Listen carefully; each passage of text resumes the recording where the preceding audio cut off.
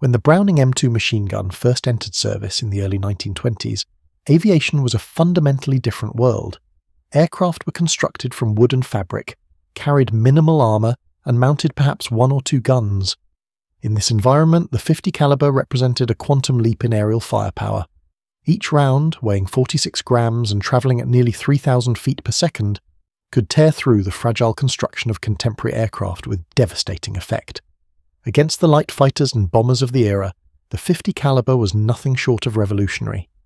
But even as American factories began producing the M2 Browning in quantity, the world of military aviation was undergoing a transformation that would challenge every assumption about aerial warfare. Throughout the 1930s, engine technology advanced with breathtaking speed. The power plants that had struggled to lift lightly armed biplanes suddenly could propel fighters carrying armor plate, self sealing fuel tanks, and batteries of heavy weapons. What had seemed impossible in 1925 became routine by 1939. Aircraft weren't just getting faster, they were becoming flying fortresses that could absorb punishment unimaginable to earlier generations. The Spanish Civil War became aviation's proving ground, where theoretical designs met brutal reality. German Condor Legion pilots discovered that their light machine guns, adequate against fabric covered biplanes, were pathetically inadequate against newer armoured aircraft. Soviet fighters arrived with armour plating protecting pilots and engines. Rounds that would have been lethal five years earlier now bounced harmlessly off steel plate. The Germans learned a harsh lesson. Firepower that couldn't penetrate protection was worthless regardless of accuracy. This revelation drove German aviation philosophy toward a radical solution. Rather than mounting numerous light weapons, they would install fewer but vastly more powerful cannons. The MGF F20mm cannon, based on the Swiss Oerlikon design, entered Luftwaffe service mounting explosive shells that could cripple aircraft with single hits. Each 20mm mine shell contained approximately 18 grams of high explosive, vastly exceeding anything comparable caliber weapons could deliver. Where machine gun bullets punched holes, cannon shells detonated, sending fragments through hydraulic lines, control cables, fuel tanks, and crew compartments. The British faced the same revelation during the Battle of Britain, though they arrived at it through desperate experience rather than Spanish combat the Supermarine Spitfire and Hawker Hurricane initially mounted eight Browning 303 machine guns, creating what designers believed would be overwhelming firepower through sheer volume. The mathematics seemed sound. Eight guns firing at over 1,000 rounds per minute created a cone of lead that nothing could survive. Reality proved otherwise. German bombers arrived over Britain with armour protection that rendered the 303 largely ineffective pilots emptied entire ammunition loads into Heinkel and Dornier bombers only to watch them continue flying. The small caliber bullets, while numerous, simply lacked the energy to penetrate armor plate or inflict catastrophic damage. Fighter Command desperately needed weapons that could kill with fewer hits since combat typically offered only seconds of firing opportunity. The answer was the 20mm Hispano cannon, though early installations proved plagued with jamming problems that wouldn't be fully resolved until 1942. The British learned what would become aerial combat's fundamental truth. In actual combat, pilots rarely had time for extended gunnery runs. Engagements lasted seconds. The enemy flashed through your gun sight, you fired a brief burst, then he was gone. In these fleeting moments, the destructive power of individual hits mattered far more than theoretical rates of fire. A two second burst that landed three 20mm shells could destroy a bomber. The same burst with rifle caliber machine guns might not even slow it down.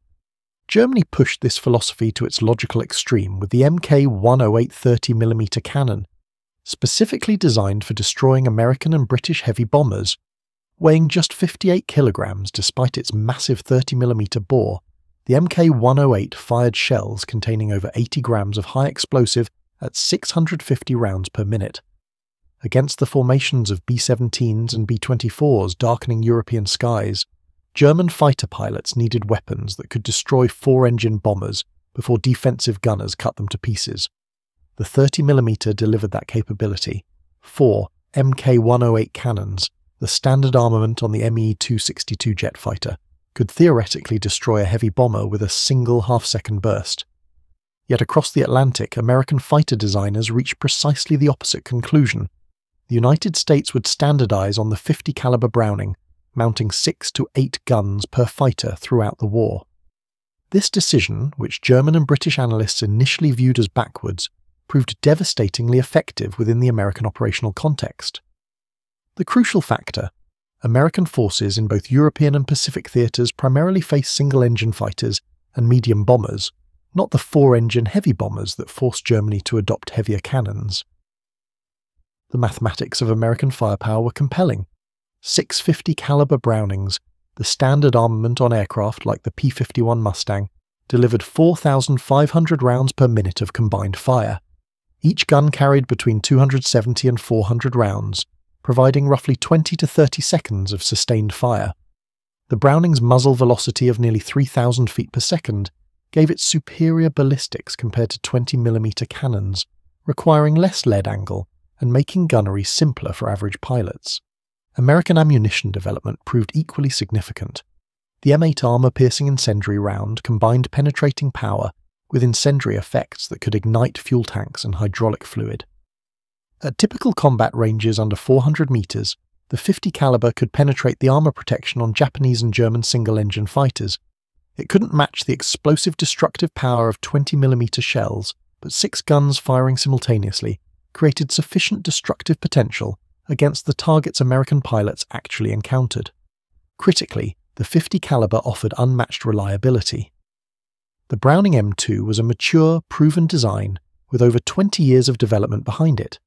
It functioned flawlessly in the temperature extremes from Pacific sea level to European high altitude combat. Ammunition feeding was utterly reliable. Stoppages were rare. When every gun system faces the test of combat reliability, the weapon that works every time holds tremendous advantage over theoretically superior weapons that jam at critical moments. The standardization advantage cannot be overstated. Every American fighter, from carrier based Hellcats to land based Thunderbolts, used the same 50 caliber ammunition. Supply chains could be simplified. Armorers trained on one weapon system. Pilots transitioning between aircraft types faced familiar armament. This logistical elegance allowed American forces to maintain operational tempo that their enemies couldn't match. German fighters might carry superior weapons, but not if ammunition shortages or maintenance problems kept them grounded. The Pacific Theater demonstrated American armament philosophy at its finest. Japanese fighters, built for maximum maneuverability at the expense of protection, were devastatingly vulnerable to 50 caliber fire. The S6M0, lacking armor plate and self-sealing fuel tanks, could be destroyed by relatively few hits. American pilots trained to fight using energy tactics rather than turning combat would make slashing high-speed passes delivering concentrated bursts from six guns. The cumulative effect of 30 to 50 hits in two seconds was catastrophic against unarmored aircraft.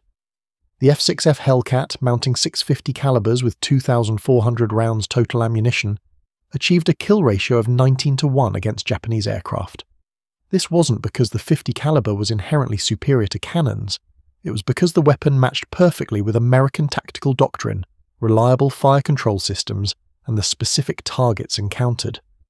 Hellcat pilots could afford to fire longer bursts, confident their ammunition wouldn't jam and they carried sufficient rounds for multiple engagements. Over Europe, the situation proved more complex. German fighters carried increasingly heavy armour protection by 1943, and American bomber defensive positions featured armour plate that could deflect 20mm shells. Had American fighters faced the same four engine heavy bomber threats that German fighters encountered, cannons would have been essential, but they didn't. American fighters primarily fought German single engine fighters where 650 calibers provided more than adequate destructive power while offering superior ballistics for long-range shooting. The ground attack mission revealed both strengths and limitations. Along French roads in the summer of 1944, P-47s strafed German truck convoys with devastating effect.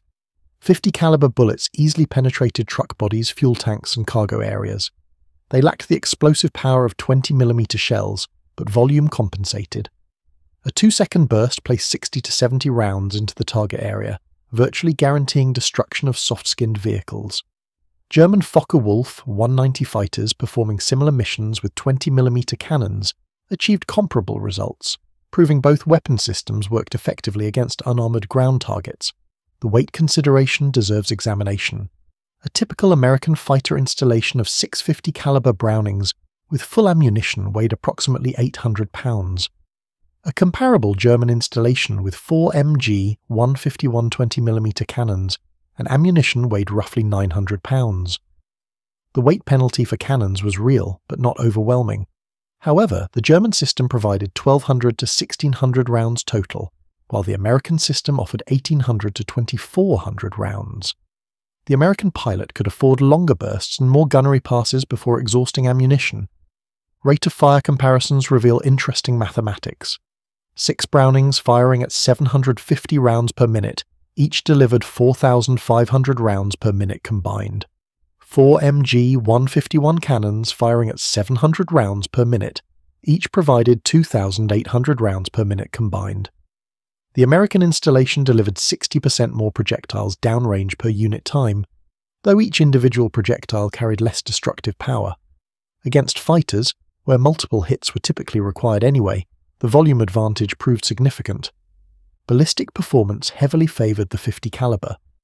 With muzzle velocity around 2,900 feet per second, the 50 caliber round maintained flatter trajectory than 20 mm shells traveling between 2,300 and 2,600 feet per second. This meant American pilots needed less deflection angle when shooting at maneuvering targets, simplifying gunnery and improving hit probability. Against the weaving, dodging fighters that constituted most targets, this ballistic advantage translated directly into combat effectiveness. The explosive content comparison tells the cannon's story. A 20mm mine shell contained roughly 18 grams of high explosive. A 50 caliber round contained perhaps 2 grams of incendiary material.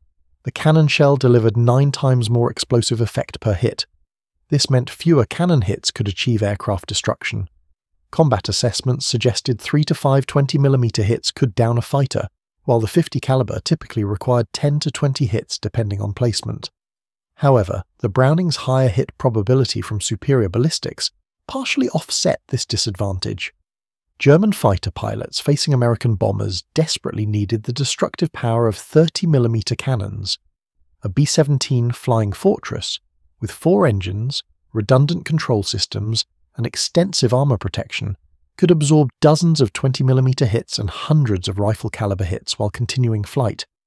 But three or four MK 108 30mm shells, each containing 85 grams of high explosive, could destroy critical structural elements or detonate fuel tanks. Against such targets, only cannons provided sufficient single hit lethality.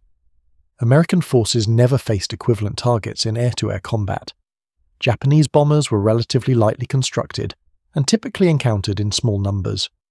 German bombers over Allied territory were rare by 1944. The heavy four engine targets that would have demanded cannon armament simply weren't present in American operational experience. The 50 caliber proved entirely adequate for the missions actually flown, while offering advantages in other areas.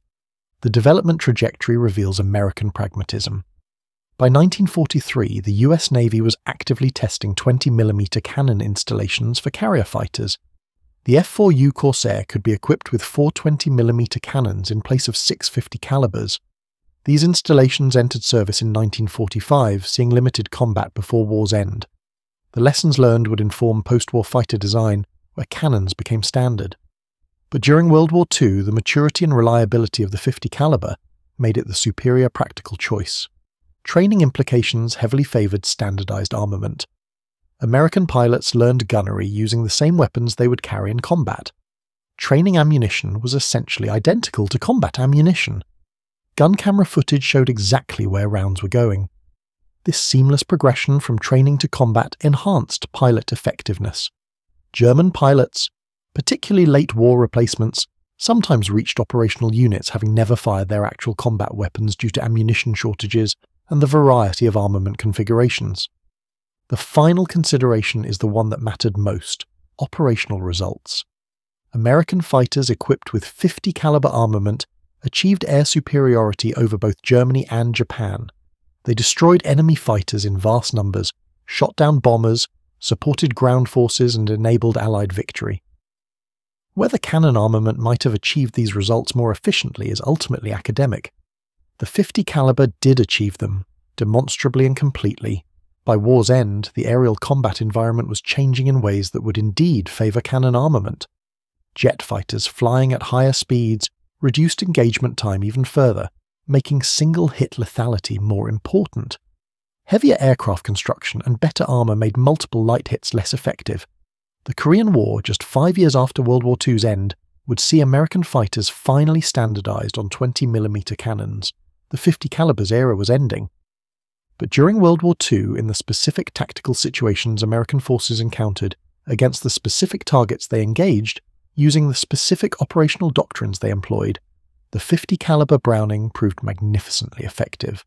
Six guns delivering concentrated fire with excellent ballistics, absolute reliability, and sufficient armour penetration against single engine fighters represented an optimal solution for American requirements. It wasn't the weapon system with the most destructive power per hit. It was the weapon system that worked every time, in every condition, delivering victory. The comparison between American 50 caliber and German 20mm armament ultimately reveals not that one was superior, but that each was optimized for different requirements. German fighters needed maximum single hit destructive power to quickly destroy heavy bombers before defensive fire became fatal. American fighters needed sustained firepower with excellent ballistics against agile single engine fighters. Both nations made rational decisions based on operational realities. Both weapon systems succeeded within their intended contexts. The notion that the 50 caliber was inadequate or that America made a mistake persisting with machine guns rather than adopting cannons, ignores operational context entirely.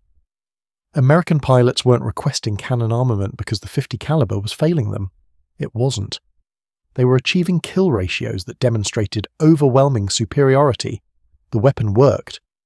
When something works, changing it for theoretical improvements risks degrading actual performance. The ugly truth is that there is no ugly truth.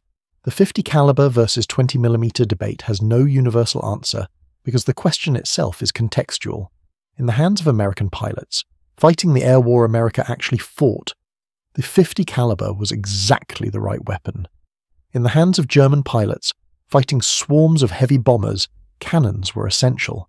Both were correct, both were necessary, both contributed to their nation's tactical approach to aerial warfare.